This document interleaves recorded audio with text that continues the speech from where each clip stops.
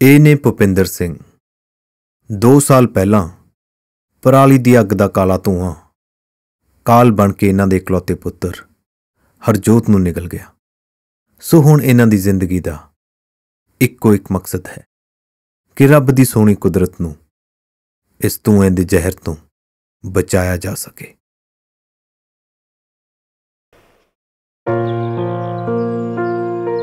ਮਨੁੱਖੀ ਇਲਾਜ ਤੋਂ ਵੀ ਮਹਿੰਗਾ ਹੋਇਆ ਪਸ਼ੂਆਂ ਦਾ ਇਲਾਜ। ਲੋਕ ਸਰਕਾਰੀ ਹਸਪਤਾਲਾਂ ਤੋਂ ਮੂੰਹ ਫੇਰਨ ਲੱਗੇ। ਛੱਡ ਵੀ ਦੋ ਜੀ ਅਖਬਾਰ ਨੂੰ। ਕੀ ਕੱਢੋਗੇ ਇਸ ਚੋਂ? ਚਾਹ ਪੀ ਲਓ ਠੰਡੀ ਹੋ ਜੂ। ਲੈ ਬਈ।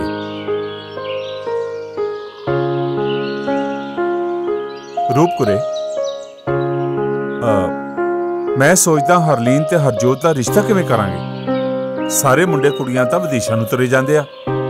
ਇਹਨਾਂ ਦੇ ਵੀ ਰਿਸ਼ਤੇ ਹੋ ਜਾਣਗੇ। ਤੁਸੀਂ ਤਾਂ ਨਾ ਬਾਲੇ ਫਿਕਰ ਕਰਦੇ ਰਹਿੰਦੇ ਹੋ।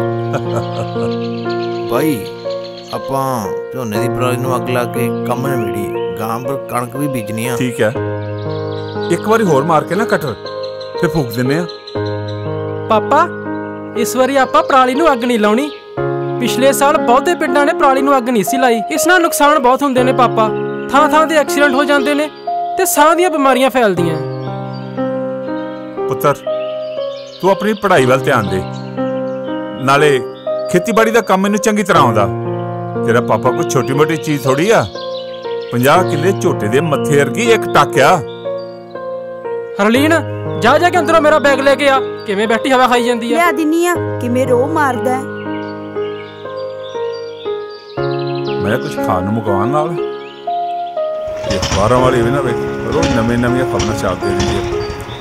ਪਤਾ ਨਹੀਂ ਡੱਬ ਕੇ ਕਿੱਥੋਂ ਲਿਆਉਂਦੀ ਆ ਇਹ ਹੈ ਆ ਲੈ ਠੀਕ ਹੈ ਪਾਪਾ ਮੈਂ ਚੱਲਿਆ ਤੁਸੀਂ ਆਪ ਹੀ ਮੰਨੋਗੇ ਵੇ ਪੁੱਤ ਧਿਆਨ ਨਾਲ ਜਾਈ ਛੇਤੀ ਆ ਜੀ ਅੱਜ ਕੱਲ ਦੇ ਨਿਆਣੇ ਨਾ ਕਿਸੇ ਦੀ ਨਹੀਂ ਸੁਣਦੇ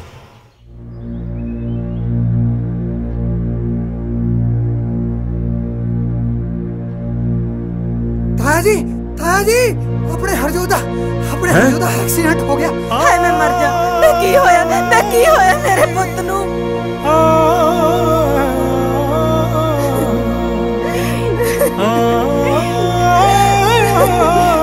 ਬਸ ਮੰਮਾ। ਬਸ ਮੰਮਾ ਨਹੀਂ ਇਹ ਕੁਦਰਤ ਦਾ ਪਾਣਾ ਨਹੀਂ। ਇਹਨੇ ਮਾਰਿਆ ਮੇਰਾ ਪੁੱਤ।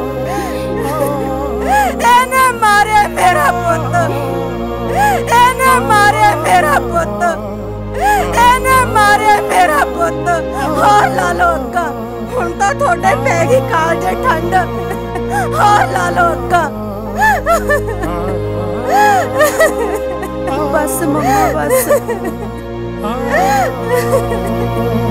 ਉਹ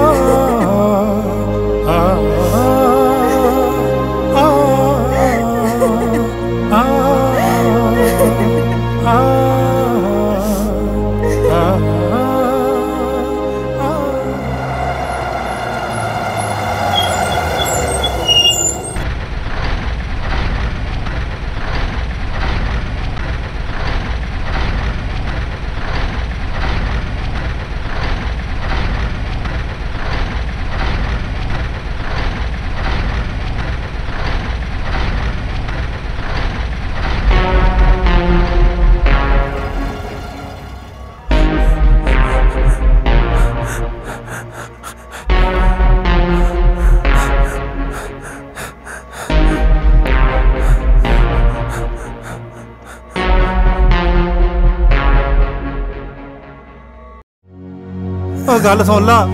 ਉਹ ਰੁਕ ਜਾ ਪੁੱਤਰਾ। ਉਹ ਰੁਕ ਜਾ। ਉਹ ਰੁਕ ਜਾ ਪੁੱਤਰਾ।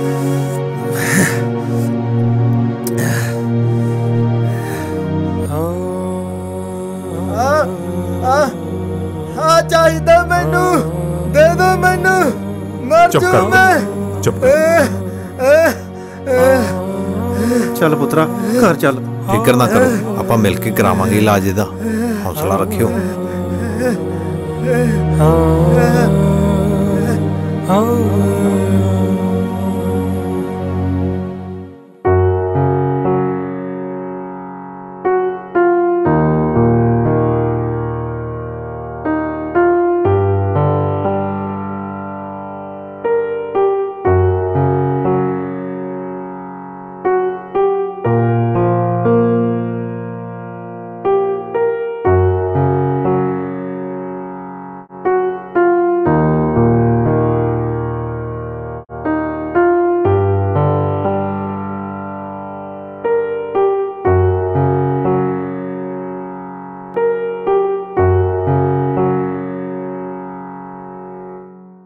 ਸਤਿ ਸ਼੍ਰੀ ਅਕਾਲ ਸਰਪੰਚ ਸਾਹਿਬ।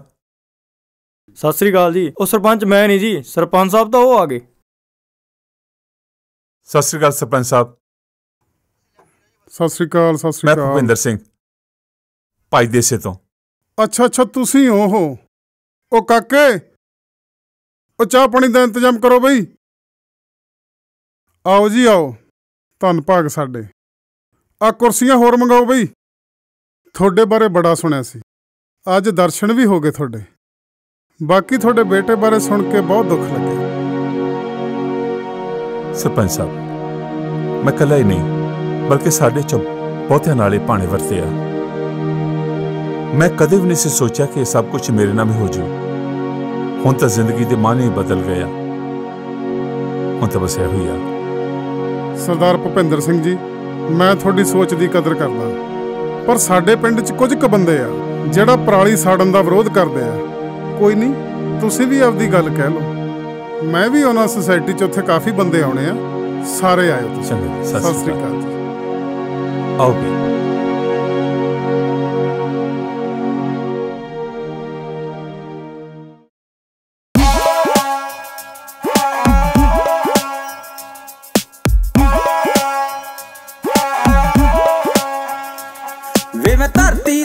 ਪੰਜਾਬ ਦੀ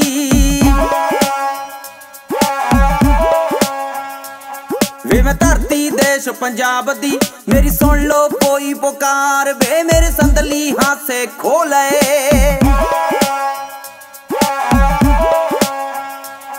ਮੇਰੇ ਸੰਦਲੀ ਹਾਸੇ ਖੋਲੇ ਮੇਰੀ ਲੁੱਟਲੀ ਕਿਸੇ ਵਹਾਰ ਵੇ ਮੈਂ ਧਰਤੀ ਦੇਸ਼ ਪੰਜਾਬ ਦੀ ਪਾਪਾ ਇਹ ਕੌਣ ਨੇ? ਅਸੀਂ ਉਹ ਆ ਜਿਹੜੇ ਤੈਨੂੰ ਖੁਸ਼ਹਾਲ ਵੇਖਣਾ ਚਾਹੁੰਦੇ ਆ ਮੇਰੀ ਹਿੱਕ ਤੇ ਜਿਉਂਦਾ ਵਸਦਾ ਬਲ ਪੁੱਤ। ਜਵਾਨੀਆਂ ਮਾਣੇ। ਮੇਰੀ ਹਿੱਕ ਤੇ ਭਾਂਬੜ ਵਲ ਰਹੇ। ਮੇਰੇ ਅੰਬਰੀ ਧੂਆਂ ਤਾਰਾਂ ਘੇਰ ਲਏ ਨੇ ਨੇਰੀਆਂ। ਸਤਿ ਸ੍ਰੀ ਅਕਾਲ ਜੀ। ਸਤਿ ਸ਼੍ਰੀ ਅਕਾਲ ਜੀ। ਕਾਕਾ ਜੀ, ਅਸੀਂ ਸਾਰੇ ਭਾਈ ਦੇਸਾਂ ਤੋਂ ਆਏ ਹਾਂ। ਅਸੀਂ ਤੁਹਾਨੂੰ ਇਹ ਬੇਨਤੀ ਕਰਨ ਆਏ ਹਾਂ ਕਿ ਇਸ ਵਾਰੀ ਤੁਸੀਂ ਪਰਾਲੀ ਨੂੰ ਅੱਗ ਨਹੀਂ ਲਾਉਣੀ ਕਿਉਂਕਿ ਉਸ ਧੂਏ ਦੇ ਨਾਲ ਵਾਤਾਵਰਣ ਖਰਾਬ ਹੁੰਦਾ ਹੈ। ਬਾਪੂ ਜੀ ਤਾਂ ਮੰਡੀ ਗਏ ਹੋਏ ਨੇ ਆਓ ਤੁਸੀਂ ਚਾਹ ਪਾਣੀ ਲਓ। ਨਹੀਂ ਜੀ ਬਸ ਅਸੀਂ ਹੋਰ ਘਰਾਂ 'ਚ ਵੀ ਜਾਣਾ। ਹੈ। ਆ ਲਓ ਜੀ ਇਹ ਸਬਜ਼ੀਆਂ ਦੀ ਕਿੱਟ ਆ। ਐਤਕੀ ਘਰ ਜੋਗੀਆਂ ਜ਼ਰੂਰ ਲਾਓ ਹਾਂਜੀ। ਠੀਕ ਹੈ ਜੀ? ਚੰਗਾ ਜੀ। ਚਲੋ ਜੀ। ਇਹ ਚੁੱਲ੍ਹੇ ਅੱਗਾਂ ਸੌਂਦੀਆਂ ਵਿੱਚ ਖੇਤਾਂ ਦੇ। ਤਿਰਕਾ ਬਾਈ ਜੀ ਅਸੀਂ ਭਾਈ ਦੇਸੇ ਤੋਂ ਆਏ ਹਾਂ। ਅੱਛਾ ਜੀ। ਅਸੀਂ ਤੁਹਾਨੂੰ ਇਹ ਬੇਨਤੀ ਕਰਨ ਆਏ ਹਾਂ ਕਿ ਇਸ ਵਾਰੀ ਪਰਾਲੀ ਨੂੰ ਅੱਗ ਨਹੀਂ ਲਾਉਣੀ। ਅਸੀਂ ਜੀ ਆਪਣੇ ਮੁੰਡਿਆਂ ਨਾਲ ਰਾਏ ਕਰਾਂਗੇ। ਅਜੇ ਉਹ ਘਰ ਨਹੀਂ ਹੈਗੇ। ਜਦੋਂ ਰਾਏ ਹੋਗੀ ਸਾਡੀ ਤਾਂ ਉਦੋਂ ਅਸੀਂ ਤੁਹਾਨੂੰ ਦੱਸ ਦਾਂਗੇ। ਚਲੋ ਫਿਰ। ਚਲੋ।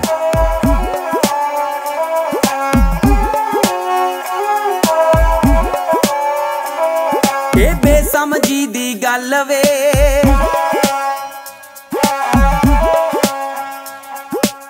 ਸਤਿ ਸ਼੍ਰੀ ਅਕਾਲ ਜੀ। ਬੇਸਮਝੀ ਦੀ ਗੱਲ ਵੇ ਪਰਾਲੀ ਨਾ ਸਾੜਨ ਬਾਰੇ ਤੁਹਾਡੇ ਨਾਲ ਕੋਈ ਗੱਲ ਕਰਨੀ ਹੈ। ਪਤਾ ਨਹੀਂ। ਕਿੱਥੋਂ ਕਿੱਥੋਂ ਆ ਜਾਂਦੇ ਆ। ਆ ਸਾਂਝੇ ਜਤਨਾਂ ਕੋਈ ਨਾ, ਨਾਲ ਵੇ ਕਰ ਘਬਰਾਓ ਨਾ। ਹੌਸਲਾ ਹਿੰਮਤ ਆਪਾਂ ਆਪਣਾ ਕੰਮ ਤੇ। ਕਰਨਾ ਹੀ ਹੈ। ਚਲੋ ਅਗਲੇ। ਹਾਂ ਪੰਜਾਬ ਦੀ ਮੈਂ ਧਰਤੀ ਹਾਂ ਪੰਜਾਬ ਦੀ ਮੇਰੀ ਸੁਣ ਲੋ ਕੋਈ ਪੁਕਾਰ ਹੋ ਚਮੱਖੀ ਓਏ ਤੂੰ ਕਿੱਧਰ ਨੂੰ ਭੱਜਿਆ ਜਾਣਾ ਹਿਲਾ ਦੇਾਂਗੇ ਬਾਈ ਆਪਣੇ ਪਿੰਡ ਨਾ ਹੋਰੂ ਹੋਰੂ ਜੇ ਬੰਦੇ ਆਏ ਫਿਰਦੇ ਆ ਨਾਲੇ ਉਹ ਕਹਿੰਦੇ ਪਰਾਲੀ ਨਹੀਂ ਫੂਕਣੀ ਨਾਲੇ ਬਾਈ ਉਹਨਾਂ ਦੇ ਹੋਰੂ ਜੇ ਕੱਪੜੇ ਪਾਏ ਵੇ ਆ ਉੱਤੇ ਕੁਝ ਲਿਖੇ ਵੀ ਫਿਰਦੇ ਆ। ਉਹ ਤਾਂ ਬਾਈ ਆਪਣੇ ਪਿੰਡ ਦਾ ਨਿਸ਼ਕਾਨ ਕਰ ਦੇਣਗੇ। ਓਏ ਉਹ ਕੌਣ ਹੁੰਦੇ ਆ ਪਰਾਲੀ ਨੂੰ ਅੱਗ ਲਾਉਣ ਤੋਂ ਰੋਕਣ ਵਾਲੇ ਹੈ? ਓਏ ਆਪਾਂ ਵੇਖਦੇ ਆ ਉਹਨਾਂ ਨੂੰ ਚਲੋ। ਹਿਲਾ ਦੇਾਂਗੇ ਆਜੋ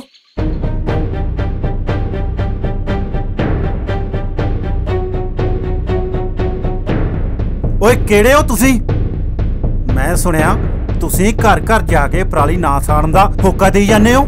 ਓਏ ਆਹ 2 ਰੁਪਏ ਵਾਲਾ ਭੇਸ ਬਣਾ ਕੇ ਸਾਬਤ ਕੀ ਕਰਨਾ ਚਾਹੁੰਦੇ ਹੋ? ਓਏ ਸਾਡਾ ਪਿੰਡ ਹੈ ਅਸੀਂ ਦੇਖਣਾ ਕੀ ਕਰਨਾ ਕੀ ਨਹੀਂ ਕਰਨਾ।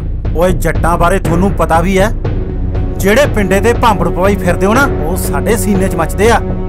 ਕਾਕਾ ਸਾਡੀ ਗੱਲ ਥੋੜਾ ਠੰਡੇ ਦਿਮਾਗ ਨਾਲ ਸੁਣ। ਕੀ ਗੱਲ ਸੁਣੀਏ ਤੁਹਾਡੀ ਠੰਡੇ ਦਿਮਾਗ ਨਾਲ? ਚਾਰ ਕਿੱਲੇ ਰਹਿ ਗਏ। ਬਚਦਾ ਬੁਚਦਾ ਕੁਝ ਹੈ ਨਹੀਂ। ਖੇਤੀ ਦੇ ਖਰਚੇ ਲਾਗਤ ਤੋਂ ਵਾਧੂ ਐ।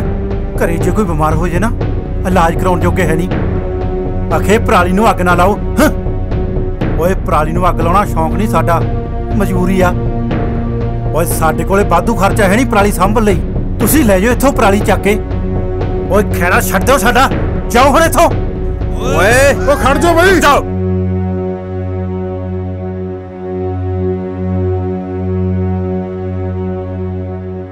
ਉਹ ਗੁਰਜੰਟ ਸਿੰਘ ਕੀ ਕਰੀ ਜਾਂਦੇ ਹੋ? ਆਪਣੇ ਪਿੰਡ ਆਇਆ ਹੈ, ਮਹਿਮਾਨ ਆ ਆਪਣੇ। ਐ ਨਹੀਂ ਕਰੀਦਾ। ਜਾਓ ਇੱਥੋਂ ਹੁਣ।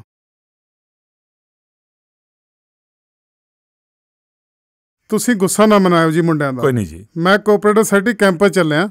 ਤੁਸੀਂ ਵੀ ਉੱਥੇ ਆ ਕੇ ਆਪਦੀ ਗੱਲ ਕਹਿ ਸਕਦੇ ਹੋ। ਆਇਓ ਸਾਰੇ। ਜੀ। ਚਲੋ ਅਸੀਂ ਆਉਨੇ ਆ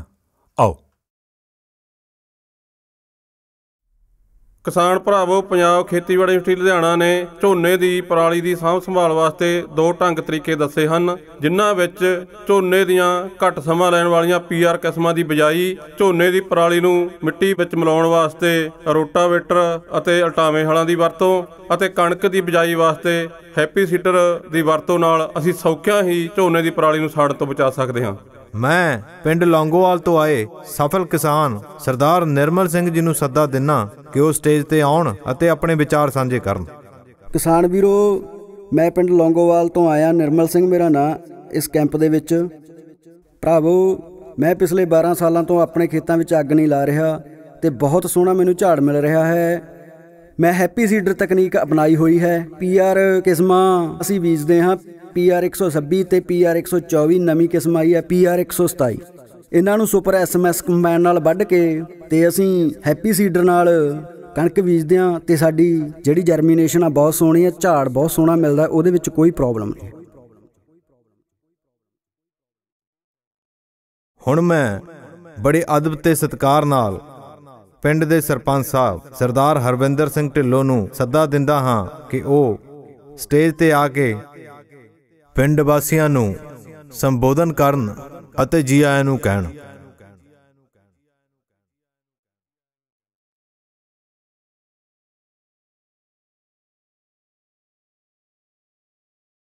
ਮੈਂ ਸਾਰਿਆਂ ਵੱਲੋਂ ਅਤੇ ਸਾਰੇ ਨਗਰ ਨਿਵਾਸੀਆਂ ਵੱਲੋਂ ਪਤਵੰਤੇ ਸੱਜਣ ਜੋ ਵੀ ਇੱਥੇ ਦੂਰੋਂ ਨੇੜਿਓਂ ਪਹੁੰਚੇ ਸਾਡੇ ਸਮਾਗਮ ਵਿੱਚ, ਉਹਨਾਂ ਨੂੰ ਜੀ ਆਇਆਂ ਆਖਦਾ, ਤੁਸੀਂ ਸਾਰਿਆਂ ਨੇ ਬੜੇ ਠਰਮੇ ਨਾਲ ਖੇਤੀਬਾੜੀ ਯੂਨੀਵਰਸਿਟੀ ਦੇ ਡਾਕਟਰ ਮਾਣਾ ਸਾਹਿਬ ਤੋਂ ਕਿਵੇਂ ਪਰਾਲੀ ਨੂੰ ਬਿਨਾਂ ਅੱਗ ਲਾਇਆ ਉਸ ਦੀ ਸਾਂਭ ਸੰਭਾਲ ਕਰ ਸਕਦੇ ਆ? ਉਹਦੇ ਬਾਰੇ ਉਹਨਾਂ ਦੇ ਵਿਚਾਰ ਤੁਸੀਂ ਸੁਣੇ। ਸਫਲ ਕਿਸਾਨ ਸਰਦਾਰ ਨਿਰਮਲ ਸਿੰਘ ਲੌਂਗੋਵਾਲ ਨੂੰ ਵੀ ਸੁਣਿਆ। ਓਏ ਤੁਸੀਂ ਹਜੇ ਗਏ ਨਹੀਂ? ਕਿਵੇਂ ਉਹ ਨਵੀਆਂ ਤਕਨੀਕਾਂ ਅਪਣਾ ਕੇ ਜਵਾਨਾ ਮਸਲਾ ਬਹੁਤ ਵੱਡਾ। ਸਾਲਾਂ ਤੋਂ ਬਿਨਾਂ ਪਰਾਲੀ ਨੂੰ ਅੱਗ ਲਾਏ ਤੇਰੇ ਵਰਗੇ ਜਵਾਨ ਪੁੱਤ ਗਵਾਏ ਅਸੀਂ। ਸਾਨੂੰ ਆਪ ਦੀ ਗੱਲ ਕਹਿ ਲੈਂਦੇ। ਯੂਨੀਵਰਸਿਟੀ ਦੀਆਂ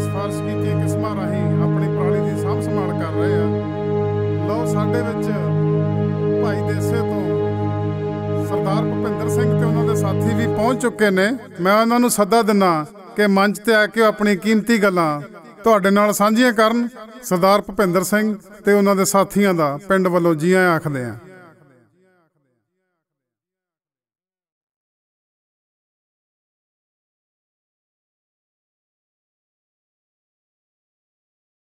ਭਰਾਓ, ਮੈਂ ਤੁਹਾਨੂੰ ਕੁਝ ਸਮਝਾਉਣ ਨਹੀਂ ਆਇਆ, ਬਲਕਿ ਤੁਹਾਡੇ ਨਾਲ ਸਾਂਝ ਪਾਉਣਾ ਆਇਆ। ਮੈਂ ਭੁਪਿੰਦਰ ਸਿੰਘ ਤੇ ਮੇਰੇ ਸਾਥੀ। ਪਿਛਲੇ ਤੋਂ ਪਿਛਲੇ ਸਾਲ ਦੀ ਗੱਲ ਆ। ਸਾਡੇ ਪਿੰਡ ਨੇ ਇੱਕ ਫੈਸਲਾ ਲਿਆ ਕਿ ਪਰਾਲੀ ਨੂੰ ਅੱਗ ਨਹੀਂ ਲਾਉਣੀ। ਮੈਂ ਨਹੀਂ ਮੰਨਿਆ। ਮੇਰੇ ਪੁੱਤ ਨੇ ਮੈਨੂੰ ਬੜਾ ਸਮਝਾਇਆ, ਪਰ ਮੈਂ ਸੋਚਿਆ, ਮੈਂ ਵੱਡਾ ਕਿਸਾਨ। ਸਾਰੀ ਉਮਰ ਨਿਕਲ ਗਈ ਖੇਤੀ ਕਰਦਿਆਂ ਦੀ। ਇਹਨਾਂ ਜਵਾਕਾਂ ਨੂੰ ਕੀ ਪਤਾ ਕਿ ਖੇਤੀ ਕੀ ਹੁੰਦੀ ਆ? ਨਾਲੇ ਧੂਏ ਨਾਲ ਕੋਈ ਮਰਦਾ ਥੋੜੀ ਆ। ਪਰ ਮੈਨੂੰ ਨਹੀਂ ਸੀ ਪਤਾ ਜਿਹੜੇ ਕਾਲੇ ਧੂਏ ਨਾਲ ਸੜਕਾਂ ਤੇ ਰੋਜ਼ ਐਕਸੀਡੈਂਟ ਹੁੰਦੇ ਨੇ, ਲੋਕ ਮਰਦੇ ਨੇ। ਉਹ ਕਾਲਾ ਧੂਆਂ ਮੈਥੋਂ ਮੇਰਾ ਸਭ ਕੁਝ ਖੋ ਕੇ ਲੈ ਜਾਏਗਾ।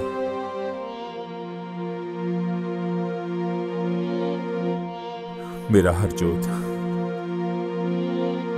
ਸਾਰੀ ਰਾਤ ਸੜਕ ਤੇ ਸਹਿਕਦਾ ਰਿਹਾ ਖੜੀ ਟਰਾਲੀ 'ਚ ਵੱਜਾ ਸੀ ਉਹਦਾ ਮੋਟਰਸਾਈਕਲ ਸ਼ਾਇਦ ਧੂਏ ਕਰਕੇ ਉਹਨੂੰ ਕੁਝ ਦਿਸਿਆ ਨਾ ਹੋਵੇ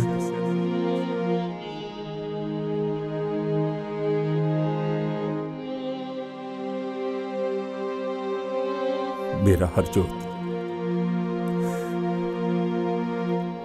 ਇਹ ਮੈਨੂੰ ਹੁਣ ਟਿਕਣ ਨਹੀਂ ਦਿੰਦਾ। ਕਹਿੰਦਾ, ਪਾਪਾ, ਤੁਸੀਂ ਰੋਜ਼ ਵੱਖ-ਵੱਖ ਪਿੰਡਾਂ 'ਚ ਜਾਓ। ਮੈਂ ਉੱਥੇ ਤੁਹਾਨੂੰ ਦਿਸਾਂਗਾ, ਲਾਲ ਪੱਗ ਬੰਨੇ। ਸੱਚ ਮੰਨੋ, ਮੇਰਾ ਪੁੱਤ ਮੈਨੂੰ ਰੋਜ਼ ਦਿਸਦਾ। ਆ ਆਓ ਵੇਖੋ ਸਾਹਮਣੇ ਖੜਾ।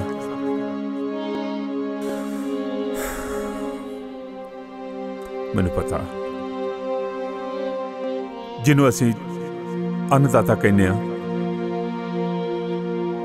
ਉਹਦੀ ਹਾਲਤ ਕੁਝ ਜ਼ਿਆਦਾ ਚੰਗੀ ਨਹੀਂ।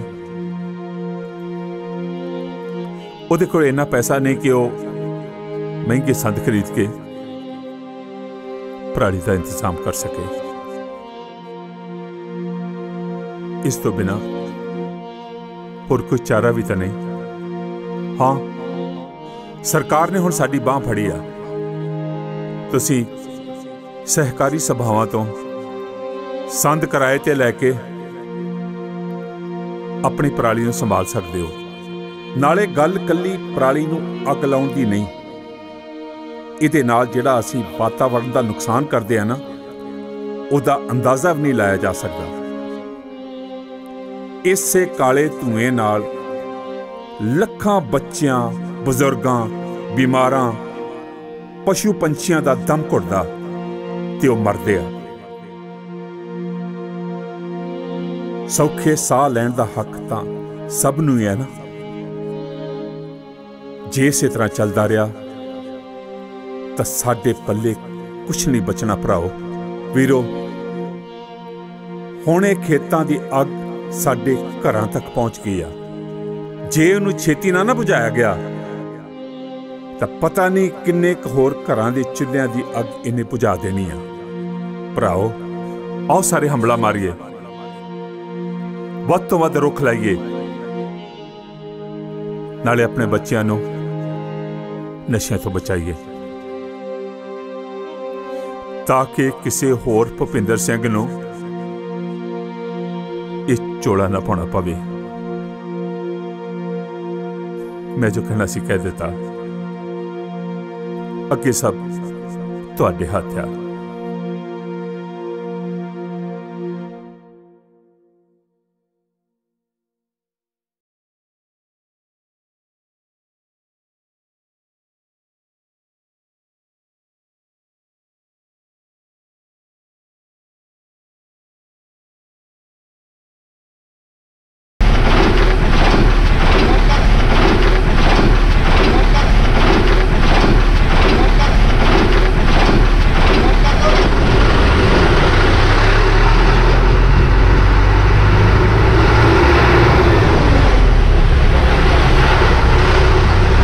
ਸਾਹਿਬ ਆਪਣਾ ਵੀ 10 ਕਿੱਲਿਆਂ ਤੇ ਰੋਟਾਵੀਟਰ ਬੁੱਕ ਕਰਿਓ ਜੀ। ਸੈਕਟਰੀ ਸਾਹਿਬ ਪਰੇ ਹੋਏ ਬਈ। ਆਪਣਾ ਵੀ ਇੱਕ ਹੈਪੀ ਸੀਡਰ ਬੁੱਕ ਕਰ ਦੇ ਛੇਤੀ ਦੇਣੇ। ਸੈਕਟਰੀ ਸਾਹਿਬ ਸਾਡੇ ਵੀ ਕਰੋ ਜੀ 5 ਕਿੱਲਿਆਂ ਵਾਸਤੇ ਅਲਟਾਮੇ ਹੱਲ ਬੁੱਕ ਐਤਕੀ ਆਲੂ ਲਾਉਣੇ ਆ ਭਾਈ ਦੇਖੀ ਜਾਓ ਉਹ ਵੀ ਦਰਸ਼ਨਾ ਕੱਲ ਨੂੰ ਵੀ ਤਾਂ ਦਿਨ ਚੜਨਾ ਐਡੀ ਕੀ ਕਾਲੀ ਆ? ਕੱਲ ਨੂੰ ਬੁੱਕ ਕਰ ਲਾਂਗੇ। ਬਥੇਰੇ ਸੰਦ ਦਿੱਤੇ ਆ ਸਰਕਾਰ ਨੇ। ਕੱਲ ਨੂੰ ਕਰ ਲਾਂਗੇ। ਇਸ ਹਿਸਾਬ ਨਾਲ ਤਾਂ ਇਤਕੀ ਆਪਣੇ ਪਿੰਡ ਪਰਾਲੀ ਨੂੰ ਅੱਗ ਨਹੀਂ ਲੱਗਦੀ ਬਈ। ਪ੍ਰਧਾਨ ਜੀ ਲੱਗਣੀ ਵੀ ਨਹੀਂ ਚਾਹੀਦੀ। ਪੰਜਾਬ ਸਰਕਾਰ ਨੇ ਬਥੇਰੀ ਸਬਸਿਡੀ ਦਿੱਤੀ ਹੈ ਸੰਦਾਂ ਤੇ ਸਾਰੀਆਂ ਸੁਸਾਇਟੀਆਂ ਨੂੰ।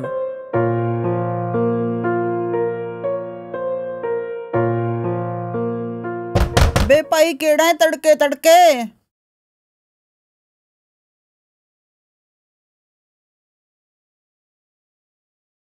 ਜਿਵੇਂ ਕਿਸੇ ਸ਼ਾਇਰ ਨੇ ਕਿਹਾ ਹੈ ਮੈਂ ਅਕੇਲਾ ਹੀ ਚਲਾ ਥਾ ਜਾਨੀ ਬੇਮੰਜ਼ਿਲ ਮਗਰ। ਲੋਕ ਸਾਥ ਆਤੇ ਗਏ। ਕਾਰਵਾਂ ਬਣਤਾ ਗਿਆ। ਆਓ ਆਪਾਂ ਵੀ ਹਾਂ ਪੱਖੀ ਹੁੰਗਾਰਾ ਭਰ ਕੇ ਇਸ ਮੁਹਿੰਮ ਦਾ ਹਿੱਸਾ ਬਣੀਏ ਅਤੇ ਰੱਬ ਦੀ ਇਸ ਸੋਹਣੀ ਕੁਦਰਤ ਨੂੰ ਬਚਾਉਣ ਵਿੱਚ ਆਪਣਾ ਯੋਗਦਾਨ ਪਾਈਏ।